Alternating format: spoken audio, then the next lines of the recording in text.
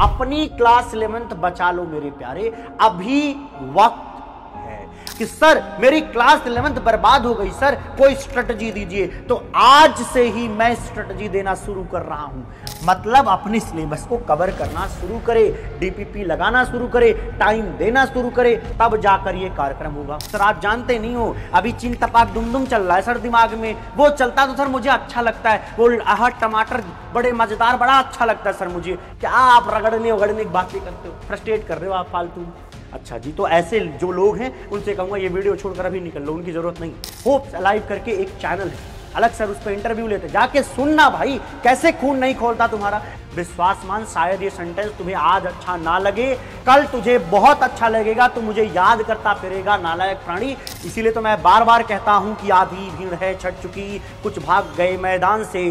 तू टिका है, अगर तो जीत के ही जाएगा। ये लिखा है सृष्टि के संविधान से। एक ऐसी बातचीत आपके साथ करनी है जो आज की डेट में आपके लिए सबसे ज़्यादा ज़रूरी है, सबसे ज़्यादा रिलेवेंट है। वो बातचीत है इलेवेंथ बचा लो मेरे प्यारे। है ना जी? तो एक बार दोबारा सुनिएगा। एक बार दोबारा सुनिएगा। आजकल हो क्या रहा है? हमारे पास ना एक एक क्या कहेंगे एक्सक्यूज चल रहा होता है। जैसे जैसे ये दिसंबर के दिन आने शुरू होते हैं, बच्चा चैट भरना शुरू होता है। सर, मेरी तो इलेवेंथ ही बर्बाद हो गई, सर। तो भैया, उन सारे बच्चों के लिए, बड़े इत्मीनान से, बड़े प्यार से, पूरी बात दोबारा मैं बोलने वाला हूँ, सुनिएगा। तो एक काम की बात आपके लिए करने वाला हूँ, वो काम की बात यह है कि अपनी क्लास इलेवेंथ बचा लो मेरे प्यारे, अभी वक्त है। अभी इतना वक्त है कि जिससे आपका इलेवेंथ बहुत मज़बूत हो सकता है अच्छा खासा आप प्रैक्टिस कर सकते हो और आप उसमें महारत हासिल कर सकते हो। जो आपका वक्त बाकी है, उसी में यह कार्यक्रम संभव है। तो अभी वक्त है बाद में रोना शुरू होगा। जैसे जैसे दिसंबर, जनवरी और फरवरी का फ़ेज़ आएगा, उसमें ज़्यादातर लोग ये लिखने वाले हैं कि, सर, मेरी क्लास इलेवेंथ बर्बाद हो गई, सर, कोई स्ट्रेटजी दीजिए। तो आज से ही मैं स्ट्रेटजी देना शुरू कर रहा हूँ।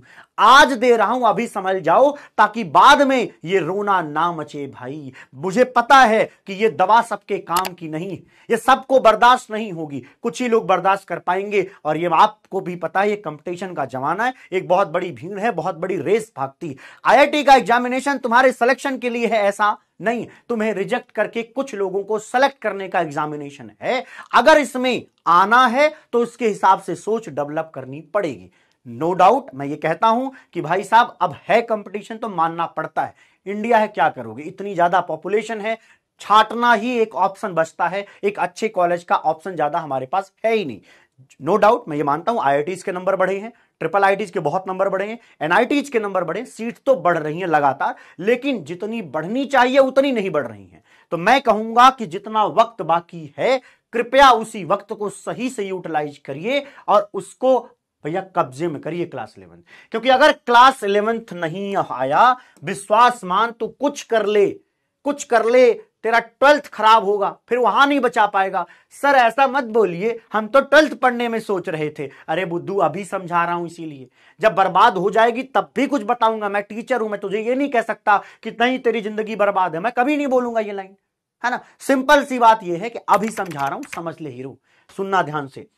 कई बच्चे क्या सोच रहे हैं? सर, बड़ा कठिन काम है। मैं तो ये जब बोझ उठा रहा हूँ ना, ये सिलेबस का, मुझसे उठ ही नहीं रहा। आज ये बच्चा हमसे ये बातचीत कर रहा है।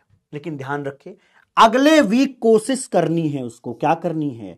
अगले वीक थोड़ी और कोशिश करनी है कि जो ये चौकोर दिख रहा है थोड़ा थोड़ा गोला बनना शुरू हो। मतलब अपने सिलेबस को कवर करना शुरू करे डीपीपी लगाना शुरू करे टाइम देना शुरू करे संडे को यूटिलाइज करे बारह बारह घंटे, तब जाकर ये कार्यक्रम होगा। अच्छा नेक्स्ट वीक से लेकर नेक्स्ट मंथ तक आपको कोशिश करनी है और ज़्यादा कि जो आपने इधर सोचा है, उसी को मल्टीपल टाइम पढ़कर, कई बार पढ़कर, नई चीज़ों को सीखते हुए आगे बढ़ना है।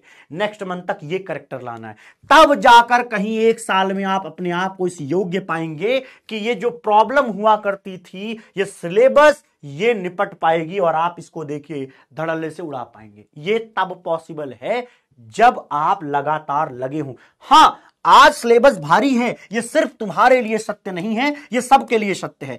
सबको तकलीफ़ आज है, क्योंकि आप इस ट्रांजिशन फ़ेज़ में निकलकर ऊपर आए। अभी टेंथ पढ़ रहे थे, अब टेंथ का पूरा एक एक किताब यहाँ चैप्टर बन जाता है। तो नो डाउट आज तकलीफ़ हो सकती है। मैं कह रहा हूँ ऐसी तकलीफ़ होना नॉर्मल सी बात है, कोई बहुत बड़ी बात नहीं है। लेकिन लगातार रगड़ते हुए रहने से ये भाई साहब गोला बन पाएँगे मतलब कुल मिला के सिलेबस पर काम अभी से ज़्यादा करना पड़ेगा। विश्वास मान शायद ये सेंटेंस तुम्हें आज अच्छा ना लगे कल तुझे बहुत अच्छा लगेगा, तू मुझे याद करता फिरेगा, नालायक प्राणी, कि कोई था जो बचा रहा था कब जब अगस्त चल रहा था। कोई था जो ये कह रहा था अगस्त में कि अगर बच जाएगा तो छह महीने तेरे पास होंगे सीखने का। अब अगली बात सुन, थोड़ा स्टैट्स पे बात कर लेते हैं। ध्यान देना भैया, ये लाइन तो मैं बोल चुका हूँ, मैंने क्या बोला कि कंपटीशन एक रेस की तरह है भैया यहाँ पे। एक रेस की तरह ही है, भागना हमारी मजबूरी है। क्या करोगे इंडिया में ऐसा है मजबूरी है और हमें उसकी तरफ़ भागना पड़ता है। तो नो डाउट जैसा कंपटीशन डिमांड करता है, हमें सप्लाई उसी तरीके से देनी पड़ती है। और सोच हमें उसी तरीके की बनानी पड़ेगी। नहीं तो रेस से अपने आप हट हट जाओगे। इसीलिए तो मैं बार बार कहता हूँ कि आधी भीड़ है, छट चुकी, कुछ भाग गए मैदान से। तू टिका है, अगर तो जीत के ही जाएगा। ये लिखा है सृष्टि के संविधान से। मतलब ये नेचर खुद कह रहा है कि अगर तू लगातार लगा हुआ है तो तेरा जीत संभव है, कोई रोक नहीं सकता। कोई रोक नहीं सकता, मैं तुझे दोबारा कह रहा हूँ आईआईटीज तेईस हो चुकी हैं एनआईटीज बढ़ चुकी हैं ट्रिपल आईटीज बढ़ चुकी हैं, एक अच्छा कॉलेज पाना कोई बहुत बड़ी बात नहीं होगी। कब? जिसके अंदर ये करेक्टर होगा। लगातार लगा है, जीत जाएगा। मैं कह रहा हूँ नोट्स बनाओ अच्छे से डीपीपी के क्वेश्चन सॉल्व करो प्रीवियस ईयर क्वेश्चन करो, बहुत कुछ मत कर पाओ तो सिर्फ़ यहीं तक। मॉड्यूल नहीं लग पा रहा फ्रस्ट्रेशन हो रही है, नहीं है टाइम रुक जाओ।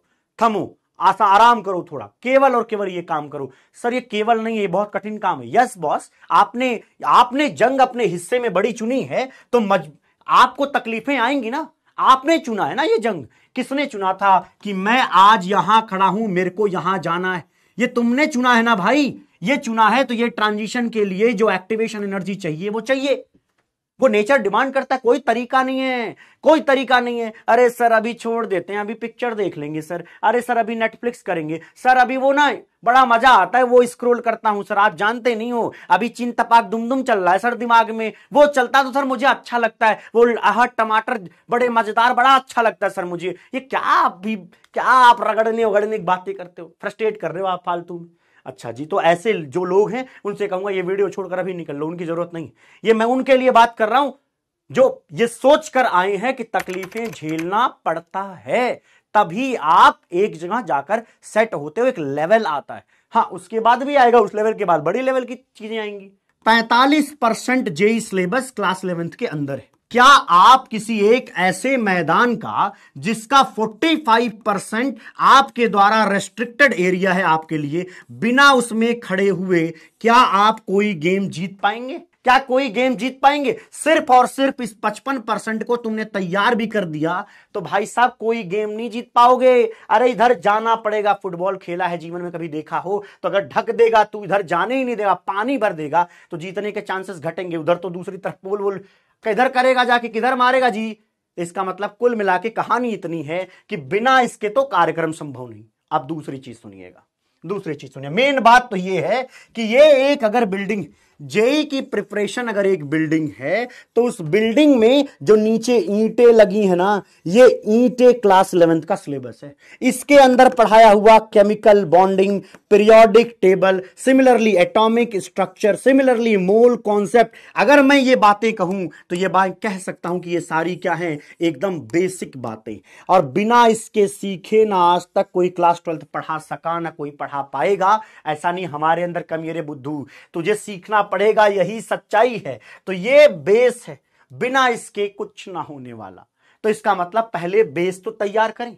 तुझे जगाना मेरा काम है। सिर्फ़ यही पढ़ा के सिलेबस खत्म कर दूँगा, उसके तो मुझे पैसे मिल ही जाएँगे, क्या करूँगा मैं उसके बाद? तेरा सिलेक्शन नहीं होगा, दुख मुझे भी होगा।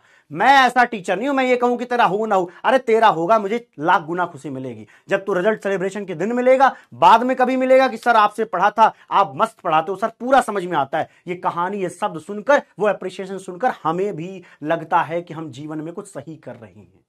तो भैया मैं अपने खून को सही तरीके से चढ़ाते रहने के लिए ये अप्रिसिएशन खुद चाहता हूँ और तुमसे ही चाहता हूँ, लेकिन चाहता हूँ कि तुम्हारा पहले सिलेक्शन हो, तू इस योग्य हो कि तू यहाँ पर ये सारी चीज़ें करने के लिए तैयार। रगड़ ज़रूरी। है नहीं अरे, आसान नहीं है। और अगर कोई बच्चा ये सोच रहा है, सर, मैं तो गरीब हूँ, मैं तो दिक्कत में हूँ, जहाँ तू खड़ा है उससे कई किलोमीटर पीछे से चल के आया हूँ। मैं यहाँ रोज कहानियों की तरह बता नहीं सकता। सिंपली इतना मान ले कि जिस भी जिस भी कंडीशन में इकोनॉमिक कंडीशन में तू खड़ा है, उससे पीछे खड़ा था और चल के यहाँ तक पहुंचाऊं। खुद के भरोसे, खुद से मेहनत करके। ठीक? तो ऐसा तुम भी करोगे, तुम कर पाओगे, हर साल कहानियाँ निकलती। होप्स अलाइव करके एक चैनल है। अलग सर उस पर इंटरव्यू लेते। जाके सुनना भाई, कैसे खून नहीं खोलता तुम्हारा? मैं एक टीचर होकर के जब उसको सुन देता हूँ, मेरे को रोना आ गया था भाई। अभी डला एक वीडियो जाके देखना उसको, क्या सिचुएशन थी बच्चे की। और उस बच्चे का सिलेक्शन हो सकता है क्योंकि वो जुनून पैदा करके बैठा है और तुम्हारे अंत नहीं हो सकता क्योंकि तुम रील चला रहे हो। रियल लाइफ में जीना शुरू करो रील से नहीं होगा कार्यक्रम। अगर करना ही है तो रील बनाने वाला बनना। कम से कम कोई क्रिएटर बन। तब भी मानू कि कुछ कर रहा है तो दूसरों को देख करके अपने जीवन खुश कर रहा है। नहीं होगा सब डिप्रेशन के शिकार होते हैं बाद में। ये सब कहानियाँ हैं कि, सर, मेरा तो नौ घंटे फ़ोन चलाता हूँ। बहुत खुश हूँ, सर। खाने को मम्मी, पापा पापा खाना वाना का जुगाड़ कर देते देखो ना, सर, इतने घंटे चला यही करता रहेगा। भ्रम से बाहर निकल। ठीक? चलिए, अगली बात सुनिएगा। अगर आपको कॉन्फिडेंट फील करना है क्लास इलेवेंथ के बाद ट्वेल्थ में तो विश्वास मानो, ये बहुत ज़्यादा ज़रूरी। अब दूसरी एक चीज़ जो अभी से बोलूँगा, उसका ध्यान रखना। क्या? टाइम फ्रेम ये है टाइम पीरियड बताता हूँ क्या है टाइम पीरियड यहाँ पे आज हम खड़े हैं। आज हम खड़े हैं अगस्त में। मैं सीधा लेकर चलता हूँ तुम्हें यहाँ पर। और ये बीतेगा कितना जल्दी? तुझे पता भी नहीं चलेगा। बहुत जल्दी ये वक्त गुजरेगा और जब ये वक्त गुजरेगा, ध्यान देना मैं दोबारा यहाँ लिख रहा हूँ, जब तेरा जनवरी लास्ट पोर्शन चलेगा सिलेबस तुम्हारा करीब करीब खत्म हो चुका होगा। तो जनवरी के बाद, मान लो कि मैंने यहाँ लिख दिया, तीस जनवरी लिख देता हूँ। तीस जनवरी से लेकर जो ये मार्च है कंप्लीट मार्च, जिस बच्चे ने इस पर काम किया, और मैं कम से कम ये कह सकता हूँ कि ऑनलाइन चार सालों में ये बात लाखों को बताता हूँ, कुछ फॉलो करते होंगे और उनके सिलेक्शन होते हैं। और मैं बार बार ये बोलता हूँ कि ये है ये है असली पीरियड ये है असली पीरियड क्या है भैया? जो कोई भी छोटा, मोटा, बड़ा, जो कुछ भी बैकलॉग है एक लेवल का बैकलॉग वो यहीं आके क्लियर होता है। क्योंकि ये टाइम पीरियड पर सिलेबस खत्म है स्कूल जाना बहुत कम हो जाता है और इसको जो यूज़ करता है, इसको मैं बोलता हूँ प्रतिज्ञा डेज़ क्या बोलता हूँ? प्रतिज्ञा डेज़ ये प्रतिज्ञा आपको कंप्लीट करने वाले डेज़ ये नहीं कि, सर, मैं तो इसमें प्रतिज्ञा लूँगा, मैं एक पेज निकालूँगा, उस पर लिखूँगा। नहीं रे, प्रतिज्ञा आज लेनी है कंप्लीट इसके बीच में करना। और क्या करना है? ये टाइम तेरे बैकलॉग क्लियर करने का है, तेरे जेई मेंस के सारे क्वेश्चन अटेम्प्ट करने का है। तीसरी सबसे बड़ी चीज़ जेई एडवांस लेवल के इलेवेंथ के क्वेश्चंस को लगाने का सही वक्त, सही टाइम ये टाइम फ्रेम होता है। ये साठ दिन तेरी किस्मत बदल सकते हैं कब बदलेंगे जी? जब तू खुद मेहनत करेगा। ये तीन चीज़ें ध्यान रखियो। बैकलॉग क्लियर करना, जेई मेंस के सारे क्वेश्चन लगाना एडवांस लेवल के क्वेश्चंस को अटेम्प्ट करना और प्रीवियस क्वेश्चंस को लगाना। ये तीन काम इस ड्यूरेशन में करने लेकिन उससे पहले, अरे मेरे प्यारे, ये बात समझ। कोई नहीं बोल रहा है, तू छोटा है अभी। तेरे को समझ नहीं आ रहा है। तू जब समझेगा ना तो मैं तुझे ड्रॉपर में देखना नहीं चाहता। तू अर्जुना में है तो भैया जी अर्जुन, सुन ध्यान से। ड्रॉपर में मत मिल जाइए क्या करेगा? यही मास्टर मिलेगा पढ़ाते हुए। कॉन्सेप्ट तो मैंने पहले भी पढ़ा रखे होंगे। फिर पढ़ेगा कि अरे नहीं सर, वहाँ दोबारा पढ़ लेंगे, अभी सीख लेना। अभी वक्त है तो अभी सीख ले। तो प्यारे, इस पर काम करना शुरू कर कि इस टाइम पीरियड को जल्दी से गुजारना नहीं है, यहाँ जीवन गुजारने नहीं आए अपन। अब तू देख ले कि तुझे नॉर्मल इंसान बन के मरना है, या मुझे तो डर लगता है। एक एवरेज इंसान बनने से मुझे डर लगता है। मुझे डर लगता है और मैं उसी डर की वजह से आज काम करता हूँ और लगातार कुछ नए प्रोजेक्ट पे भी काम करता रहता हूँ। पैरेलली क्यों? क्योंकि मुझे एवरेज इंसान बनने से तकलीफ़ है। तुझे बनना है कि नहीं बनना है, वो तू डिसाइड करेगा। ज़िंदगी तेरी, मेरा काम था एक द्रोणाचार्य का, एक जो भी मैं कार्यक्रम कर सकता हूँ, वो मैं बता सकता हूँ। करना तुझे। युद्ध मैदान तूने चुना है। अगर चुना है तो ये देख एक्टिवेशन एनर्जी मांगती है, ये चाहिए। इसके बिना कुछ नहीं होगा। सच्चाई यही है, कहो तो अच्छी अच्छी बातें बोलूँ। अरे तू कर लेगा, मेरा राजा बेटा तू कर लेगा। अरे नहीं करेगा रे। करने के लिए तेरे को जुनून पैदा करना पड़ता है। सबकी औकात नहीं है इस रेस में भागना। फट के फ्लावर हो जाती है खोपड़ी। अगर आया है तो करते हैं कोशिश। कोशिश करते हैं। और एक बात और, जब ये लगे कि लोड बहुत ज़्यादा है प्लीज़ दो दिन मत पढ़ाकर। दो दिन का बैकलॉग बना दे, कोई दिक्कत नहीं, शांति ले पूरा। उस दिन कुछ मत कहा। ये काम रोज नहीं करना है लेकिन, जब लगे कि तीन चार महीने मैंने बहुत रगड़ दिया है, अब मुझे थोड़ा फ्यूल की कमी पड़ रही दो दिन मत पढ़ाकर संडे इंक्लूड कर ले, उस दिन या तो मत पढ़ाकर। हर संडे नहीं रहे आठ नौ संडे के बाद एक संडे ऐसा रखो, जिस दिन तुम्हें कुछ नहीं पढ़ना है। पूरे दिन कुछ और करो जो तुम्हारी मर्ज़ी करे। लेकिन ये करो बहुत ज़रूरी है। प्रॉपर और प्रॉपर सात घंटे की नींद लो, एक सेकंड उससे कम मत करना। वैसे मैं साढ़े छह घंटे बोलता हूँ, बस सात घंटे की कंप्लीट नींद होनी ज़रूरी है। ये मशीन काम ही ऐसे करती चलिए चलिए चलिए, आज की बातचीत यहीं पर समेट देते हैं। तो प्यारे प्यारे, ध्यान रखेंगे, ये बर्बाद मत करना। प्लीज़, ये बर्बाद मत करना। ठीक है? यही वीडियोस मैं तुझे भेजूँगा। ये क्लिप काट दूँगा तेरे वाले इससे। अर्जुना बैच से जब भी तू मुझसे पूछेगा, मैं तेरे को वही गूगल ड्राइव की लिंक भेजूँगा कि देख तुझे क्या समझाया था मैंने। और तुम मिलोगे ये कहते हुए कि, सर, मैं बचा नहीं पाया क्लास में बर्बाद हुआ।